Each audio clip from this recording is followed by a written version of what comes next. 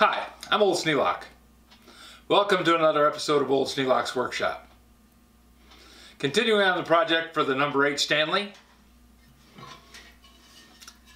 In the last video I stripped it down and I have all the wooden pieces off of it and I'm just down to the iron. Got the sole here. It's kind of rusty. It's not really, really bad, but it's got some rust on it. And because of all the little nooks and crannies, and it has the uh, Japanning still on it. I don't want to strip it and I don't want to sand it.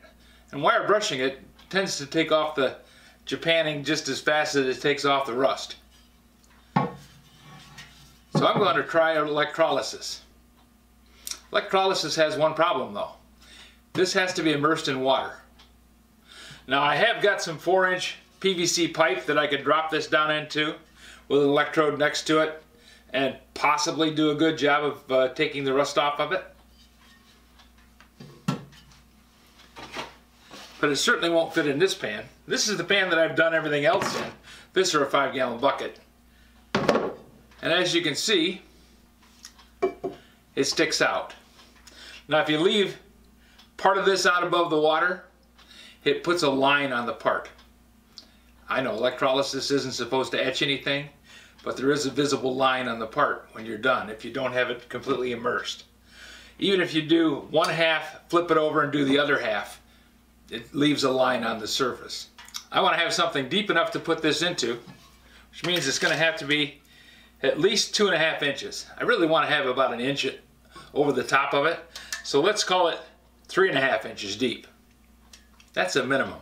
It could be deeper than that, but I want to have at least an inch of water over the top of it. Then I have to have a steel plate underneath it to act as the electrode. So three and a half, add another quarter inch for the steel plate. I'm coming up to three and three quarters. So I've got to have something at least four inches deep.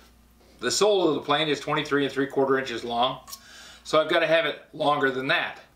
Well, I just don't have anything that size. I just don't have any trays or troughs or uh, bins or buckets, anything that size. That's a pretty good size tray to keep around. Now I could make one up out of steel, but I really don't want to spend the time, and I don't need to. I can make a temporary bath that will work just fine for electrolysis by using some scrap lumber and a couple of garbage bags. So let's get started on making that because I want to get this in the bath and get it going. If I make the trough rectangular, and 25 inches long. Now that's inside measurement.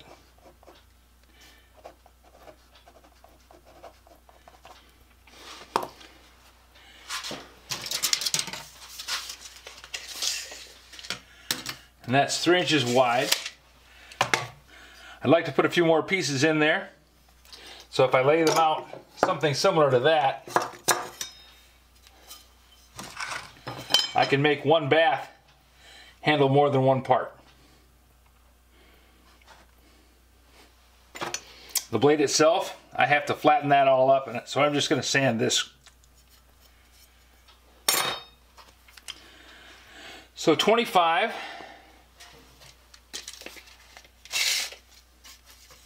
And that's going to be about seven inches across.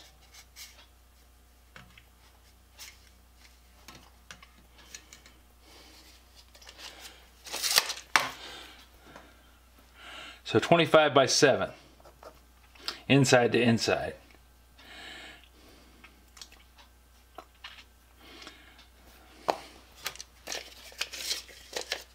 Since my scrap pieces are 3 quarters of an inch thick,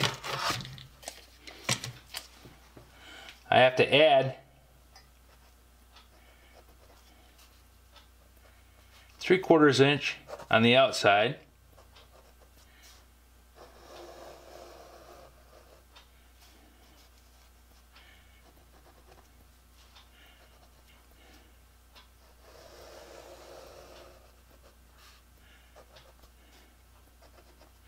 And then the end piece is going to be 7 inches plus an inch and a half. So outside to outside,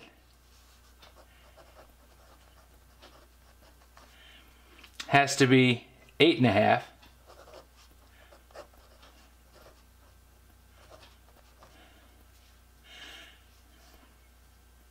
And this piece on the side can actually be 25 inches long. That's all it needs to be. And I'll put the overlap onto the end pieces. So I'm going to need two pieces, eight and a half, and two pieces, 25. This is some uh, car siding left over from replacing the door on my son's garage when he lived in Kalamazoo. Waste not, want not.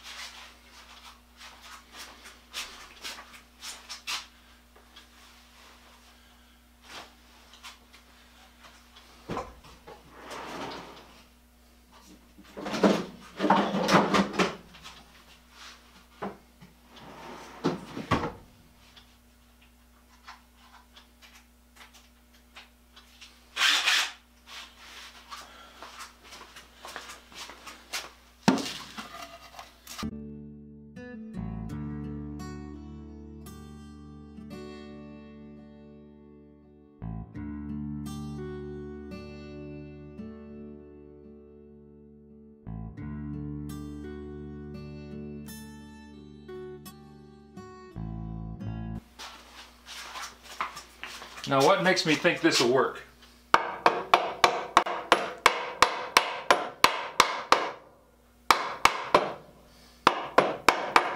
Well, it's because I used this method before.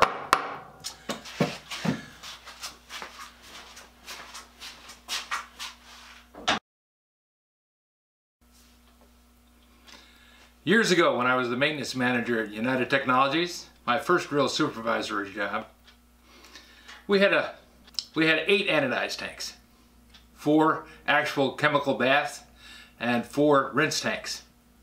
One of the rinse tanks sprung a leak. Somebody had put acid in the wrong tank, and a strong acid uh, really doesn't react too much with steel. You know, you can put straight sulfuric in a steel tank and it'll be just fine. You mix it with a little water, like a rinse tank. Next thing you know, you got a uh, galvanic reaction and it eats right through the side of the tank. Well, somebody screwed up, mixed the bath wrong, and put it in the wrong tank and ate a hole right in the side of it. Too big to patch. The whole sidewall was really, really weak. I had a whole batch of material that had to be anodized. And I didn't have another tank coming for at least two months while I had one fabricated. So we went and bought 9 mil plastic, Visqueen the kind that you put around foundations and underneath concrete to act as a vapor barrier. And we just folded it up, lined the tank, clamped 2x4s in the corners to pull it back into the corners tightly so that it wouldn't interfere with the racks going up and down. We filled it up with rinse water and we ran that way for the two months while we waited for another tank to be made. But because the Visqueen was working so well, the tank was going to cost us about $12,000 had a company that built a, a liner for the tank. It was just a bag. The bag was made out of vinyl and it exactly fit over the tank with a flange along the top. We laid the bag down inside the tank, clamped the flanges down to the top, and we ran that way for the rest of the time I was with United Technologies, which was another four years. it cost about $3,000 for the tank liner, which is an expensive rubber bag, right? But it's a heck of a lot less than the 12 grand we were going to have to pay for a full tank. And we didn't have to tear out the old tank. All the fittings and pipes and everything else, we just hooked up the uh, bag to the flanges, fastened them together, bolted it in with a gasket, we were done. So I know this bath is going to work and it's going to make a nice temporary piece that I can uh, do this plane in and if I ever get another eight well I can make another one. It's just made out of scrap lumber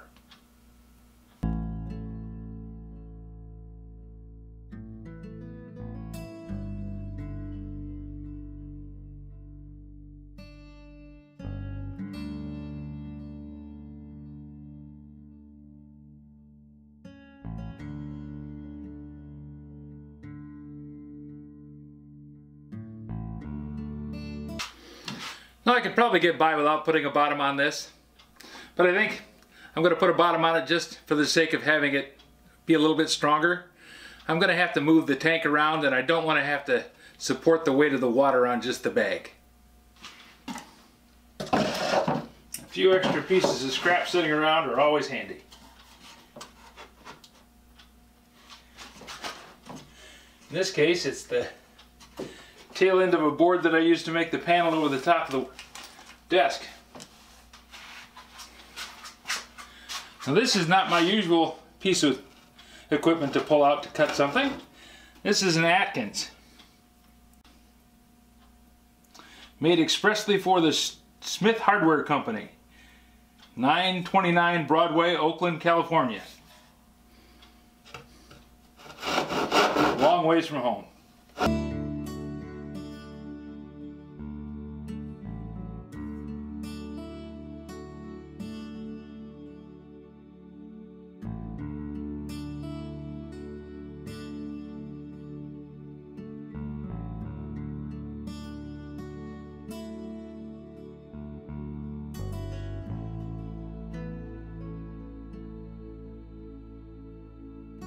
I'm going to go with a little longer screw on these. I used inch and a quarters on the first one. I'm going to go inch and five eighths, which is about three eighths of an inch longer.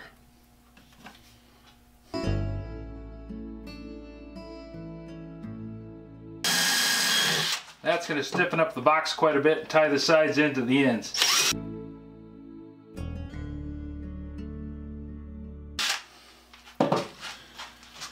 Now this will hold about three gallons of water and I'm just guessing on it. Might be as much as four.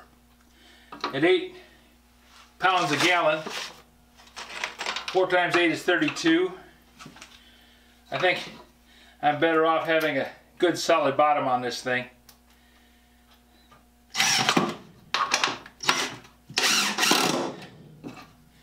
So that I don't end up having a leak.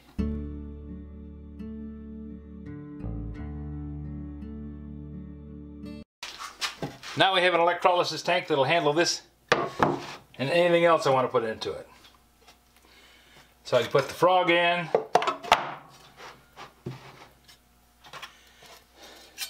The chip breaker and the blade cap. I think that'll work. Now I just got to line the bottom of it with plastic.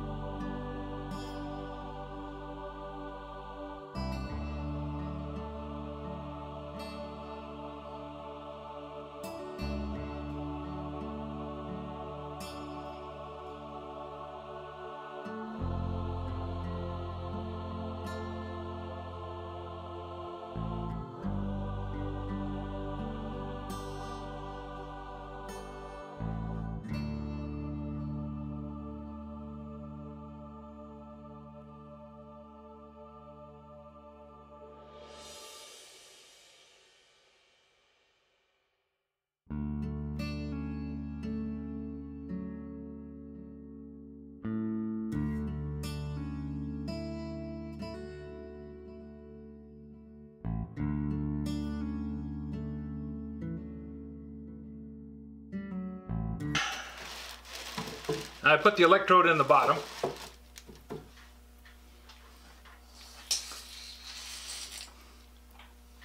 Because I want to be able to clip. This is the red lead. I want to be able to clip that to that steel plate there and have it be a good electrical connection up above the water. If I have it below the water, this clip will corrode. That's actually why I have a, a little bit of red paint on this black handle. The original one rusted right off. It got into the bath, ate it up, about 12 hours.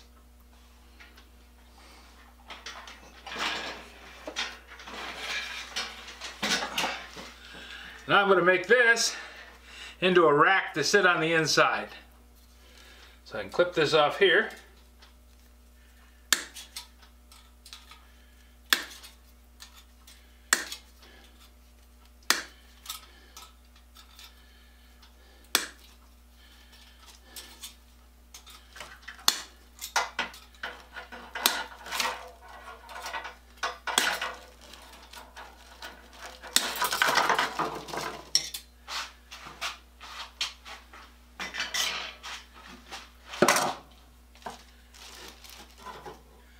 and have this end stick up out of the tank. That way I don't have the two electrical conductors touching. And I'll be able to make connection through the steel pieces.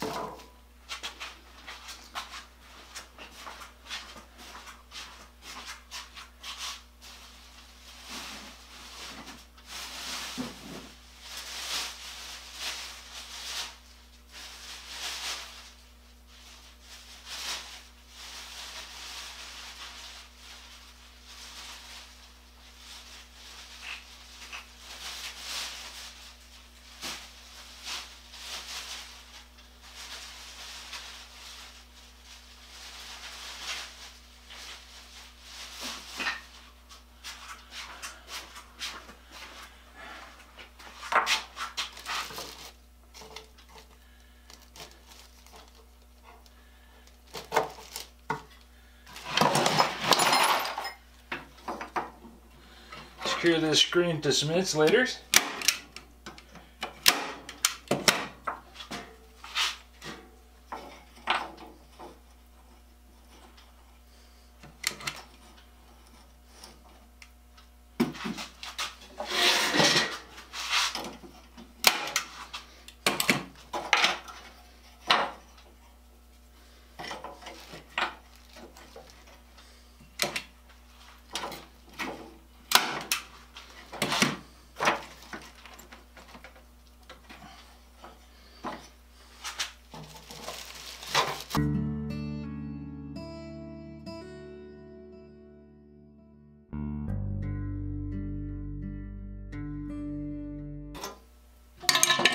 Just tucking things around in here to make sure I got everything situated where I want it. I don't want my two conductors touching.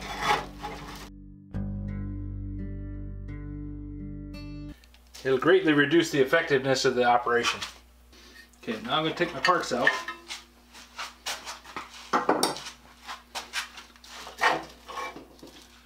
And mix up my bath. High-tech stuff, baking soda. All I need to do is make an electrolytic.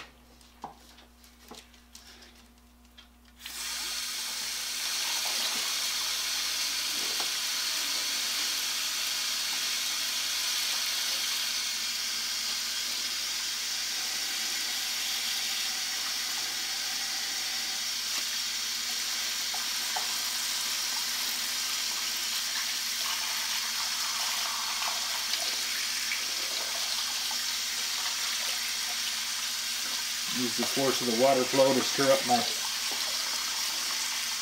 baking soda. I don't need a saturated solution. All I need is a few free ions in the tank so it'll make it a better conductor.